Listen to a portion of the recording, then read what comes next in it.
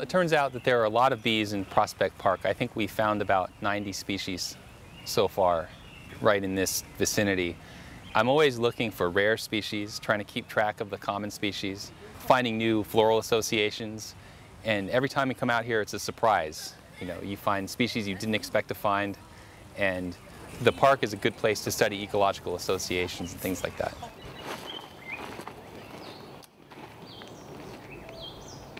When people are concerned about decline or loss of honeybee populations, it begs the question, well, what about all of these more than 3,000 native bees in the United States? What are they doing?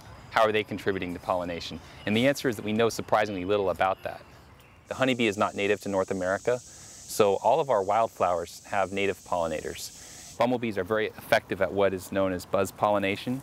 This is something that honeybees don't do, and this makes bumblebees particularly important pollinators in greenhouses and also in the open fields for things like eggplants, tomatoes. This very species is actually the one that's been commercialized for use in the eastern United States. This is a long tongue bumblebee, and you'll see it's going in a flower with a long corolla tube. This bee has a long face and a long tongue that allows it to efficiently forage for nectar on this sort of a plant.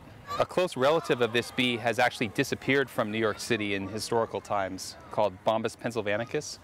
And some people have suggested that this bee, Bombus fervidus, the golden northern bumblebee, may be declining as well. Yet I still see them in pretty good numbers in Brooklyn and elsewhere in New York City. And I think it's because we still have a pretty good number of clover patches and also some of these plants with long corolla tubes that produce a lot of nectar. And with these resources, they're able to survive here.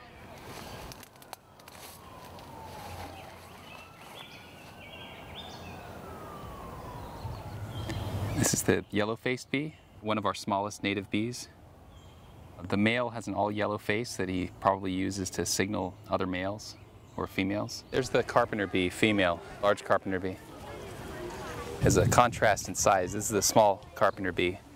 I don't think the native bees are going to replace the honeybees. I think that's not realistic.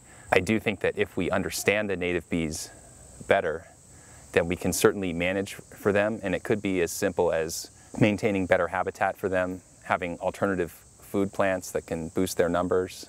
There may be low-cost, almost passive management techniques that could provide a lot more so-called free pollination or background pollination by the native species.